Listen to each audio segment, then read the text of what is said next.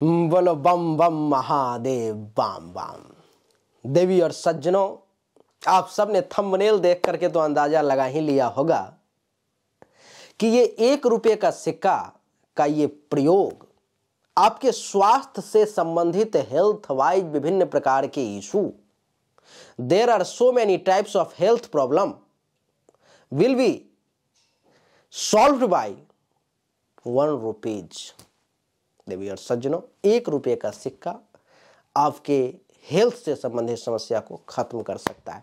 आप कहेंगे, ऐसे वीडियो तो हमने हज़ारों देखे, सौ देखे, पाँच सौ देखे, दो देखे, चार देखे, कितने देखे, मुझे भी अंदाज़ा नहीं है दर्शकों।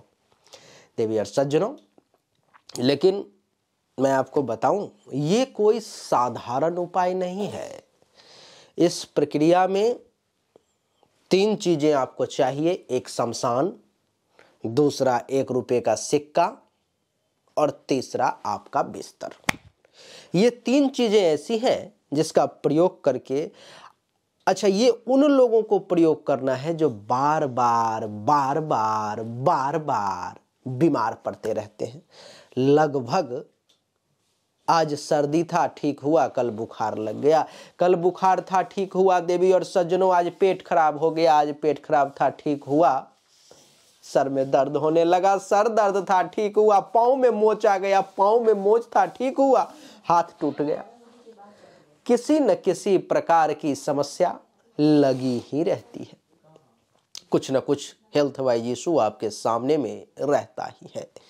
अगर ऐसी स्थिति आपके सामने में भी आती है चाहे वो आपके माता के साथ हो पिता के साथ हो बच्चे के साथ हो बीबी के साथ हो पति के साथ हो चाचा के साथ हो चाची के साथ हो भाई के साथ हो बहन के साथ हो किसी के भी साथ हो लेकिन उसको ये बात बतानी नहीं है जो मैं आपको बताने जा रहा हूँ उसको ये वीडियो शेयर कर देना है कि इस वीडियो में जो है अपना देख लो और कर लो क्योंकि जब ही इस तरीका को तीसरा आदमी आपके द्वारा जानेगा जो आप ऐसा कर रहे हो, ये जब ही कोई जान जाएगा तो टोटका की खास बात होती है कि इसको गुप्त रखना बहुत ज़रूरी होता है। ये जैसे ही कोई तीसरा जानेगा, वो फेल कर जाएगा, वो सफल नहीं होगा और आपको इसका लाभ नहीं मिल पाएगा। देवी और सज्जनों आपकी जानकारी के लिए मैं बता दूँ कि तीन चीज़ों की व्यवस्था करनी है।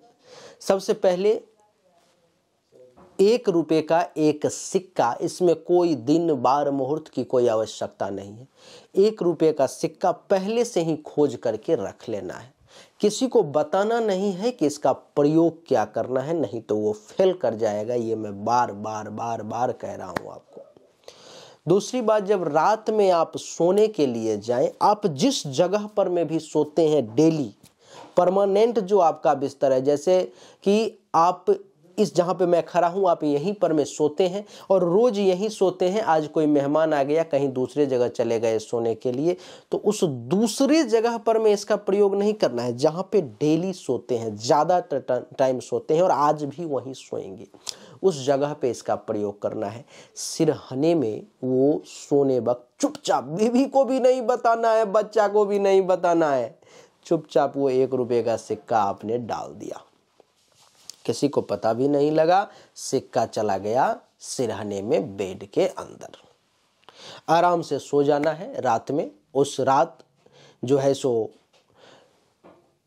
एकदम सुबह सुबह सवेरे सवेरे प्रयास करना है उठने का। थोड़ा सा अंधेरा ही रहे ब्रह्म मुहूर्त में तीन बजे, चार बजे, पाँच बजे। सूर्योदय से पहले अगर उठ जाए तो ज़्यादा बढ़िया है। चुपचाप फिर से वो सिक्का निकालना है और जेब में रख लेना है, ऐसे जगह पर में रखना है जो किसी को पता ना चले और उस सिक्का कोई प्रयोग भी ना कर पाए। नहीं तो फिर उसका दूसरा ही रिएक्शन हो जाएगा। उसको रख लेना है। आप चाहें तो लेटरिन से हो आए ब्रश कर ले, स्नान कर ले, सारा प्रक्रिया कर ले और सिक्का कहीं साइड में पड़ा रहेगा। ये बी ग्रेड में आया। बी ग्रेड में। ए ग्रेड में क्या आया कि आप सो करके उठे, वो सिक्का आपके जेब में है। चुपचाप आप बिस्तर से उठे और बिना किसी से कोई बातचीत किए, बिना किसी को कुछ बताए, आप निकल पड़े। आपने पहले पता लगा लिया है कि आपके आसपास में शमशान कहाँ पर में है। सबको बोल देना है कि जब आप जा रहे हैं तो आपको कोई टोके नहीं, कोई ये नहीं पूछे जो मैं कहाँ जा रहा हूँ। ये बात पहले ही सबको बता देनी है। क्योंकि कल जैसे ही आप जाने लगेंगे तो आपके माँ, आपके बाप, आपकी बीबी, आपके बच्चे पूछ सकते हैं कि भाई कहाँ जा रहे हो। तो इसलिए ये जानकारी सबको पहले ही दे देनी है। और वो एक रुपये का सिक्का ले करके चुपचाप आपको श्मशान में पहुँच जाना है और उस सिक्का को निकालना है श्मशान की तरफ़ मुख करके उसको फेंकते हुए ये बोल देना है कि इस सिक्के के साथ मेरे शरीर में जितनी भी बीमारियाँ हैं जादू मंत्र जो भी हमारे ऊपर किया गया है, वो सब इस सिक्के के साथ इस शमशान में दफन हो जाए। ये कह करके उस सिक्के को फेंक देना है और फिर सीधा चलना है। पीछे मुड़ के नहीं देखना है जिधर आपने सिक्का स्मशान में फेंका है। अगर आप मुड़ के देखते हो तो आपका ये टोटका फेल कर जाएगा, काम नहीं करेगा। उस वक्त कोई व्यक्ति आपको टोकना नहीं चाहिए अगर किसी ने टोक दिया फेंकते वक्त। अथवा किसी ने ये पूछ दिया कि भाई क्या करने आया था क्या कर रहा है? फेल कर जाएगा आपका टोटका। थोड़ा कठिन होता है ये इसीलिए बहुत आ, सोच समझ करके और धैर्य से इसका प्रयोग करना है। तरीका बहुत आसान है। रिपीट कर देता हूँ। एक रुपये का एक सिक्का रख लेना है। रात में सोते वक्त अपने तकिया के नीचे, सिरहने के नीचे डाल देना है। सुबह में उठना है, चुपचाप उस सिक्के को लेना है। बिना लेटरिन बाथरूम किए हुए, बिना ब्रश किए हुए, बिना पेशाब किए हुए आपने उस सिक्के को उठाया और चुपचाप आप ले करके स्मशान की तरफ़ आप बढ़ गए। आप गाड़ी से जा रहे हैं, कार से जा रहे हैं, साइकिल से जा रहे हैं, पैदल जा रहे हैं, कोई फ़र्क नहीं पड़ता है, लेकिन कोई तेज़ सवारी लें तो ज़्यादा बढ़िया है, ताकि आपको कोई टोके ना रास्ता में। पर्सनल गाड़ी से निकल जाए तो ज़्यादा, पैदल जब भी आप जाएँगे तो आपको रास्ते में दस लोग टोकने वाले, क्या आज सवेरे सवेरे, सुबह सुबह कहाँ जा रहे हो? इस प्रकार से लोग पूछने लगेंगे। तो ऐसा कोई प्रयोग करें, साइकिल ले लें, बाइक ले लें, कार ले लें, आपके पास जो अवेलेबल है वो ले लें और स्पीड में आप निकल जाएँ। वहाँ पर मैं पहुँच करके आपको वो सिक्का जेब से निकालना है, ऐसे अपने मुट्ठी में दाहिने हाथ में पकड़ना है और मन ही मन बोलना है कि मैं जो ये सिक्का रात में अपने सिरहने के नीचे रखा, उद्देश्य मेरा ये कि मैं जो बार बार बीमार पड़ जाता हूँ बार बार जो कुछ न कुछ जादू मंत्र टोना हमारे साथ होता रहता है, किसी न किसी प्रकार की समस्या हमें हेल्थ वाइज आती रहती है, वो सारी के सारी समस्याएँ हमारी इस सिक्के के साथ, इस शमशान में शमशान में दफन हो जाए, इसी उद्देश्य से मैं ये सिक्का यहाँ फेंकता हूँ, कह के फेंक देना है।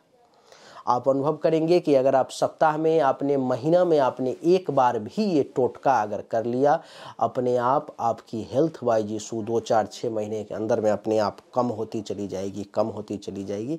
टोटका है, थोड़ा समय लगता है, लेकिन ये कम होती जाएगी और धीरे धीरे करके कुछ ही समय बाद ये फिनिश हो जाएगा। अगर आप तुरंत सो करके उठते हैं और नहीं जा सकते हैं तो आप आराम से कोई दिक्कत नहीं है।